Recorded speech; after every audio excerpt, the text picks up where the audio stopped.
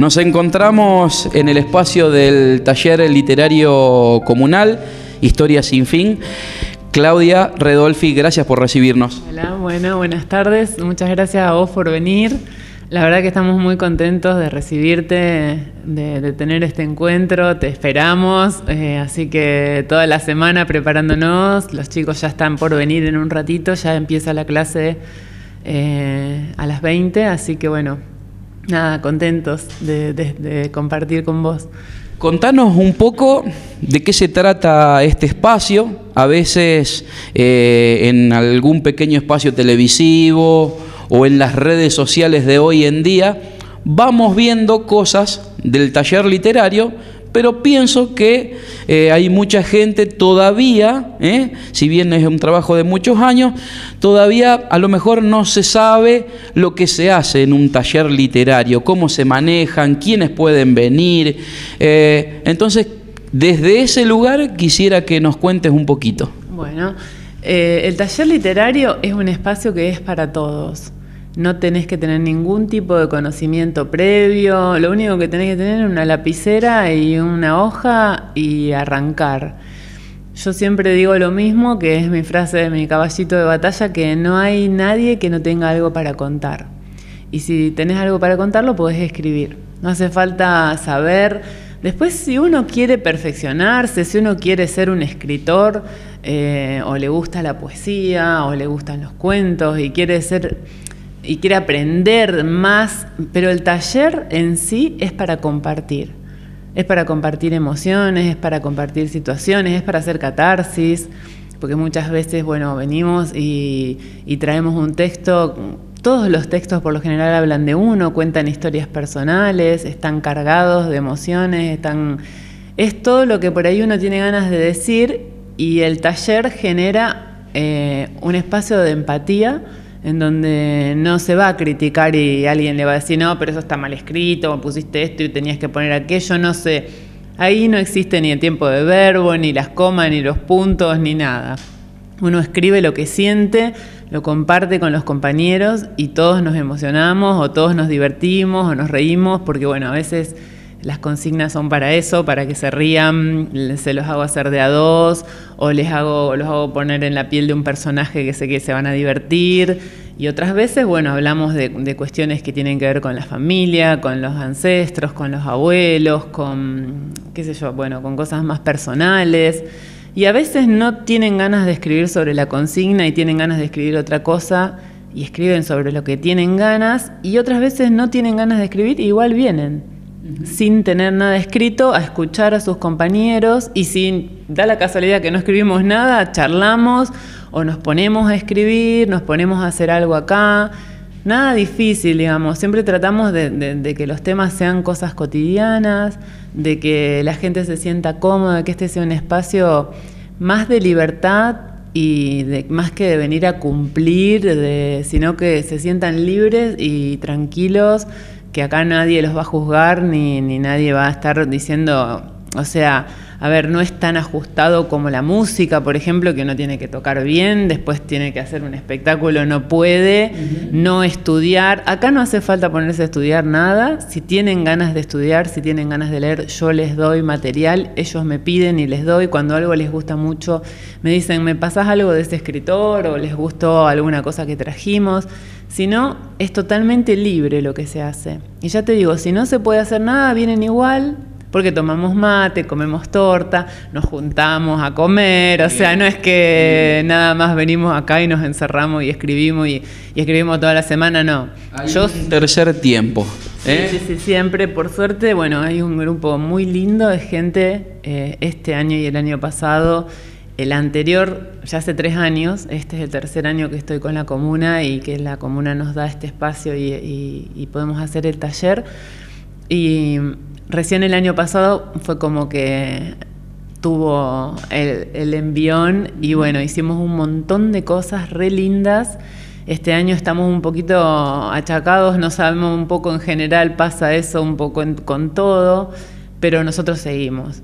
Ya nos comimos un mondongo la semana pasada como ah, para enfrentar el frío, este, así que Eh, no, em, es, un, es, un, espacio de, compañeros, es un espacio para compartir, es un espacio para hacer amistades, eh, para sentirse tranquilos, para sentirse bien, donde no hay presiones, donde no tienen que estar ahí, no cumplí, no lo hice, no puedo ir, si no lo hiciste, no pasa nada, acá no pasa nada. O sea, el tiempo, eso, eso es el taller. Eso es la producción literaria del taller, así se manejan todos los talleres. Después hay otra gente que tiene otro, otras, otros intereses y trabaja sola conmigo, eh, también en el ámbito del taller, ¿no es cierto? Venimos acá o a lo mejor vamos a mi casa porque por ahí hay una, una, cuestión de comodidad, pero ellos trabajan solos y están haciendo un curso aparte porque quieren escribir un cuento o quieren saber cómo se escribe una novela o quieren dedicarse a la poesía. Entonces, bueno, es como que ahí sí hay que tener otras herramientas, pero acá no. Acá es, compartir.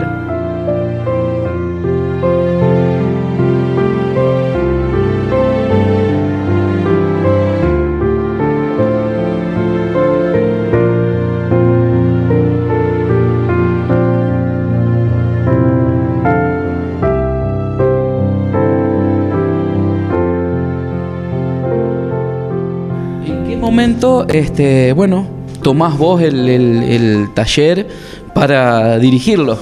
Bueno, yo, eh, yo tenía mi, gran maestra, mi amiga del alma, Elizabeth Carpi. Yo hacía el taller con ella en Corral de Bustos y bueno, ella supo que, su vida se, se, terminaba y antes de partir me dijo, yo quiero que todos los espacios que son míos sean tuyos y más. Y ella llamó a la comuna de acá, a la comuna de otros pueblos y proponiendo esto del taller y bueno, yo me acerqué también a la comuna eh, y arrancamos. Así porque bueno, yo no tengo ningún título que tenga que ver con literatura ni nada de eso, pero no hace falta, o sea, no es necesario eh, en este ámbito tener ningún título de nada. Simplemente es tener ganas de contar algo y escribirlo y después compartirlo, que eso es lo más lindo de todo.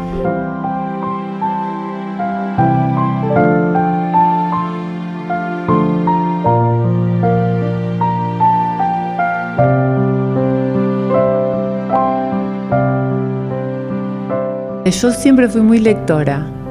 Eh, tengo una historia de Osmide. Osmide era la señora de mm, eh, Galeano, que tenía un kiosco a la vuelta de la casa de mi abuela, que era enfrente de la plaza. Y a mí todos los días me daban una moneda de caballito para que yo me compre una cruz, unas punch y un cuentito. Entonces iba de Osmide y alguien me tenía que leer un cuento. Siempre fui muy lectora. Después cuando empecé a estudiar, estudié antropología, eso me fue acercando a las letras ahí en humanidades y demás, y me empecé a contactar con gente que escribía, con gente que hacía fotografía, me empecé a contactar más con el tema del arte. Y bueno, empecé a hacer talleres y tuve grandes maestros en donde no se trataba de este tipo de talleres, sino de cosas mucho más exigentes. Y ahí fue cuando me di cuenta que tenía una buena capacidad para escribir, para, para manifestar las cosas que siento eh, y bueno, me empecé a interesar y empecé a estudiar y empecé a profundizar y a hacer talleres con gente ya más, más conocida, más específicos, como te digo, más en los temas en donde uno ya aprende y después lo puede brindar y lo puede volcar para, para, los, compañeros. Así que eh, empecé cuando vivía en Rosario, Después seguí haciendo todo lo que pude viajando a Rosario hasta que la conocí a Elizabeth, a Betita, y nos, me fui a correr de gusto, que eso fue gracias a Belén, Belén Vila, que también escribe y, le gusta todo esto y es también compañera acá del taller. Eh, yo simplemente coordino el taller. Yo no soy ninguna, ellos me dicen profe, seño, pero bueno, porque una forma, forma cariñosa de tratarnos, pero somos todos compañeros iguales, o sea, yo también escribo, yo también comparto con ellos lo que escribo, o sea, eh, acá somos todos iguales, ¿no? Es que hay alguien enseñando y los demás están aprendiendo, y todos aprendemos de todos, porque es a través de esa experiencia y de esa emoción que uno va aprendiendo y, va escuchando al otro y va sumando.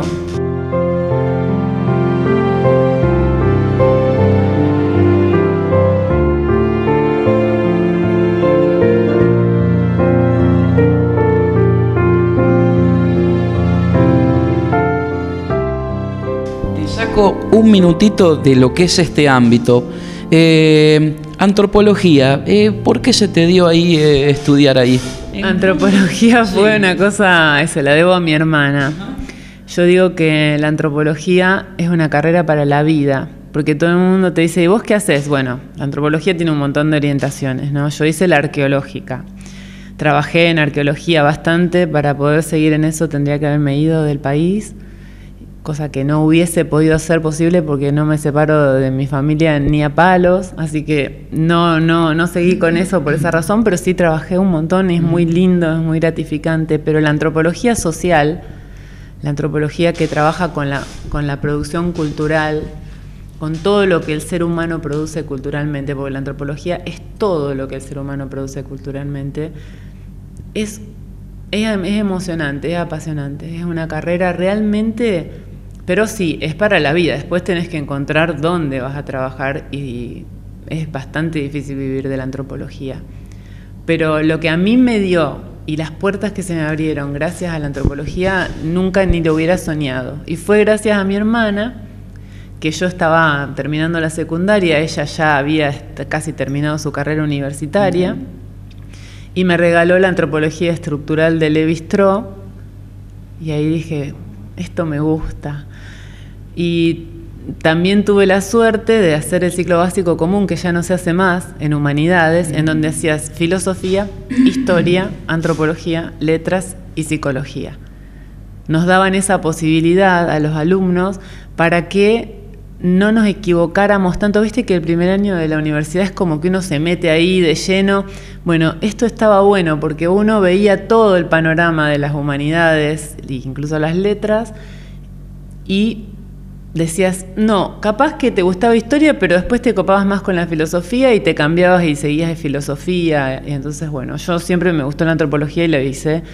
Y después me incliné por la arqueología porque, bueno, me, encantaba, pero no obstante eso, hice toda la parte de, la antropología social que se llama, que es la que trabaja con todo el tema de la cultura cotidiana, digamos. Eh, lamentablemente las ciencias sociales no están en el lugar que deberían estar, pero la sociedad no subsistiría sin una ciencia social, sin el apoyo de la filosofía, sin el apoyo de la historia, sin el apoyo de la antropología. Hasta para escribir un discurso, un político, seguramente va a necesitar de un antropólogo o de un sociólogo, que son cosas bastante parecidas.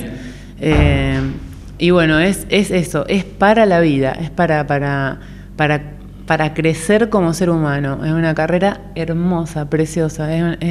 realmente la recomiendo.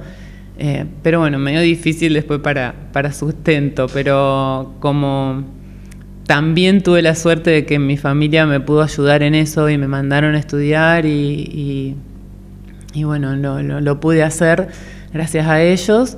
Eh, bueno, pero después estudié un montón de otras cosas. Yo, mm, lo mío es estudiar, esa es mi, es mi felicidad. Entonces por eso termino también acá, termino sacando fotos en todos lados. Si esta, cuántas cosas sabe hacer. Y bueno, aprendo, voy, hago cursos, he viajado, he invertido mucho en educación. Yo creo que es fundamental que no perdamos de vista para nosotros como adultos, para nuestros hijos, para todo el mundo, que la educación es todo.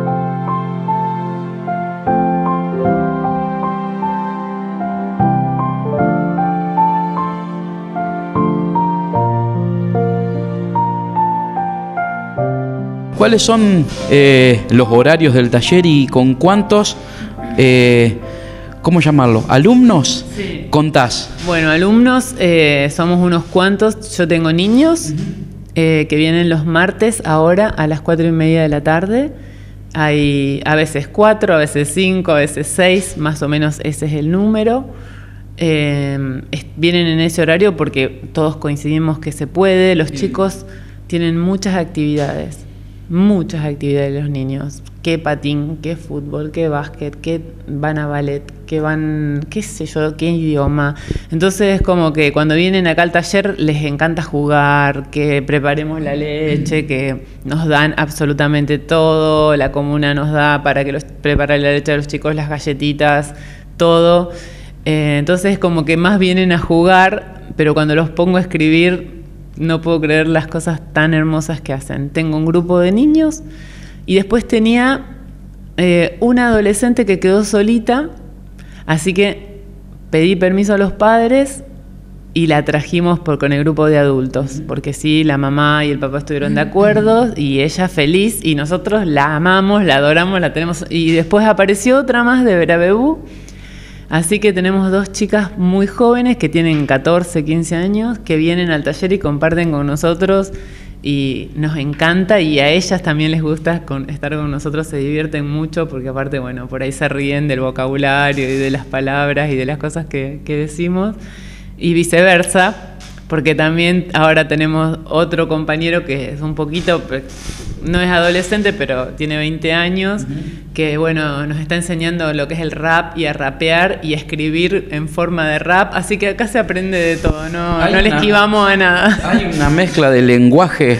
enormes. Sí, total, total. Ya te digo, desde una criatura de 14, 15 años que tiene un estilo totalmente y palabras y un lenguaje que no, que hasta personas de 70 que justamente aprenden de eso y, y, no les cuesta nada, ni a ellos adaptarse a nosotros, ni nosotros adaptarnos a ellos. Es mutuo, hay una adaptación eh, mutua. Sí, sí, sí, y, eso nos divierte y, la pasamos, en ese, en ese sentido la pasamos muy bien y también, bueno, en engancharse todos, ¿no?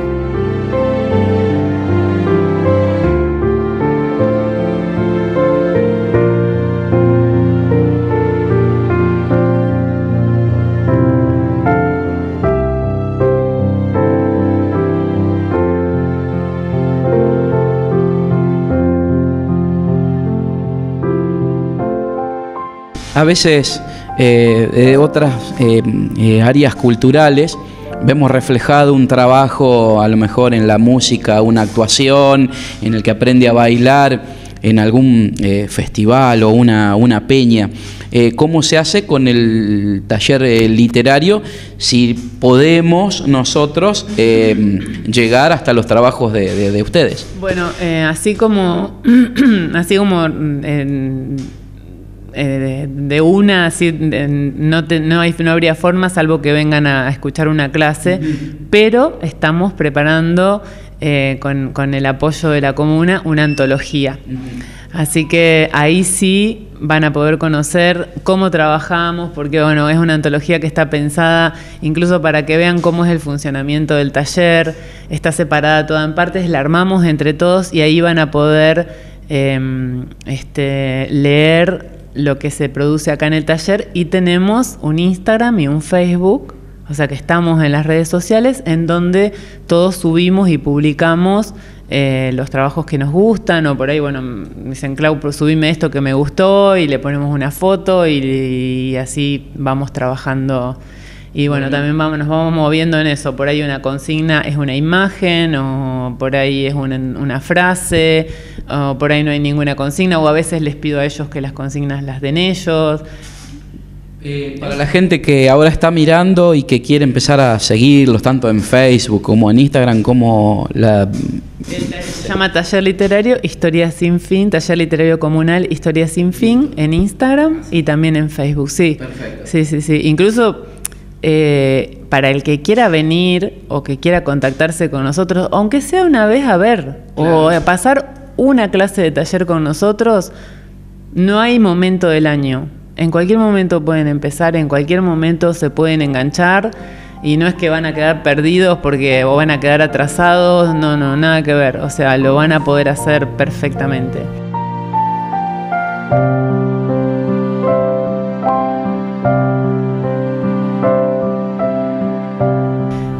Sí te puedo contar que, bueno, que hemos salido, que hemos ido a visitar escuelas de campo juntos y que hemos pasado un día hermoso compartiendo con los alumnos, con el profesor de la escuela.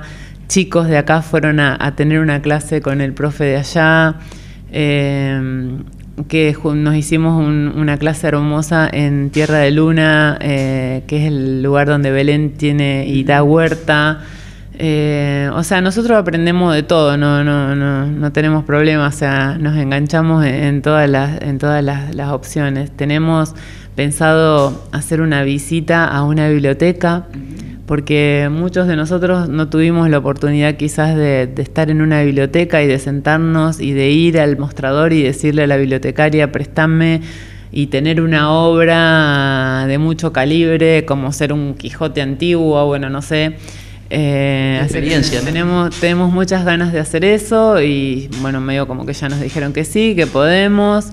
Eh, y bueno, y la otra forma también que, salimos un poco a la calle es a través de los concursos.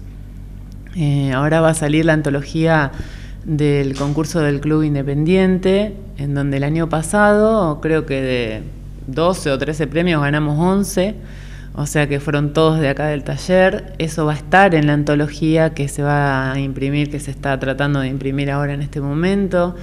Y en antologías anteriores también hay trabajos nuestros, porque también concursamos, van, participamos del concurso de la parroquia de María Teresa, que está el padre, mm, el, hijo de Ladia, que no, que, Tato. Em, este, y Diego, que también, Lo, ayuda ahí. Bueno, el concurso Lucrecia Favot de Verabebú, que es un concurso bastante importante también de escritura, en el cual también recibimos premios el año pasado y vamos a volver a concursar este año cuando nos inviten. Ya nos estamos preparando para el de María Teresa, que cierra este domingo. Así que todo lo que podamos participar, nosotros vamos. Nos invitan y vamos y nos enganchamos. O sea, y la forma de conocer lo que hacemos es esa, es a través por el momento de las redes sociales. Pero siempre la puerta está abierta para que vengan y estén y participen y bueno, va a haber también va a venir un escritor de Rosario, va a haber una clase especial, así que eso va a estar, va a ser bastante interesante, ya lo van a conocer, seguramente en las redes de la comuna también va a salir. Así que bueno, más o menos tenemos las puertas abiertas del programa para cuando lo necesiten. Te agradezco por este rato prestado y bueno, esta, esta charla para, para conocer un poquito sobre el espacio. Bueno, no, no, gracias. Nosotros agradecidísimos a ustedes, a vos, Eva, que hayas venido esta idea que tuviste de, tenernos en cuenta, de, sacarnos un poquito de acá adentro, porque sí es verdad, nosotros no tenemos así un festival o, no nos invitan a tocar a algún lado ni a escribir a algún lado.